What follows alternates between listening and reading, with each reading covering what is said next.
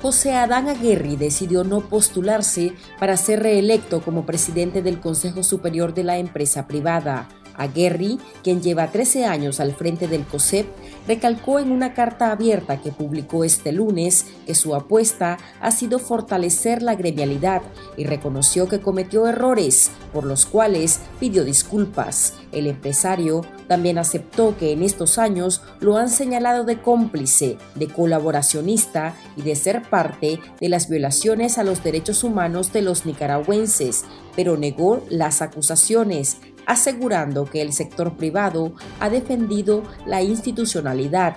A Aguerri lo tildan de haber mantenido un amorío con Daniel Ortega hasta 2018, con el objetivo de conseguir beneficios para el COSEP. Aguerri dio a conocer su decisión un día antes de las elecciones en el COSEP, que se celebrarán el 8 de septiembre, fecha en que se conmemora el Día del Empresario. El actual presidente del sector privado pasó semanas dando largas e inclusive afirmó que su postulación podría notificarla el propio día de las votaciones, porque así lo indican los estatutos. En su carta resaltó que en todas las ocasiones en las que él figuró como candidato siempre ganó por unanimidad y lamentó que este año, según su perspectiva, haya una campaña tan sucia cuyos ejes han sido la descalificación y la manipulación. Michael Healy y Mario Hannon son hasta el momento los dos postulantes para encabezar el COSEP. Todo parece indicar que soplan aires divisionistas dentro de la bancada de diputados del Partido Liberal Constitucionalista. Al menos ocho parlamentarios de los 14 que integran ese grupo estarían preparando su salida para hacer su propia bancadita, lo que dejaría al PLC con solo seis legisladores, al menos que decidan aplicarles la ley del transfugismo político para despojarlos de sus escaños. Artículo 66 tiene en su poder unas cartas en donde los cinco diputados que fueron electos dentro del PLC hacen la solicitud a su jefe de bancada, Maximino Rodríguez, para que no se les continúe deduciendo el dinero que les retienen de sus salarios como aportes para el partido. En respuesta, Rodríguez les negó la solicitud.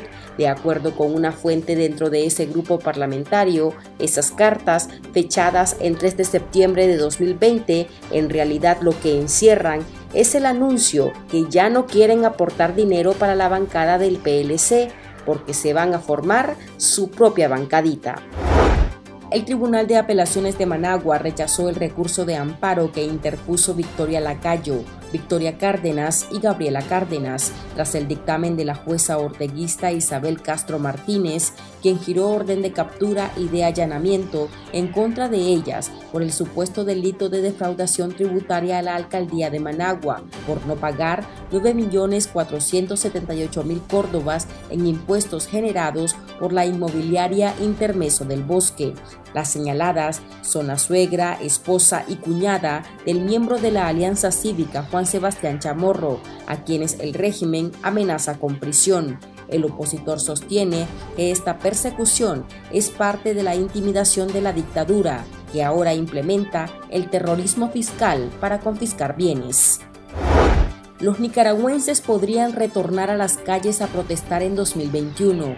Eso es lo que proyecta un estudio presentado por el FUNIDES, en el que se detalla que debido a que las demandas de justicia, libertad y democracia siguen sin lograrse, los ciudadanos, en medio del descontento, podrían nuevamente rebelarse, lo que llevaría a una repetición del escenario de 2018, en especial porque el próximo año es decisivo por ser electoral.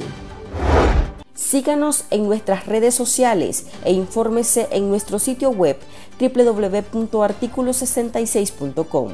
Les informó Marlin Balmaceda.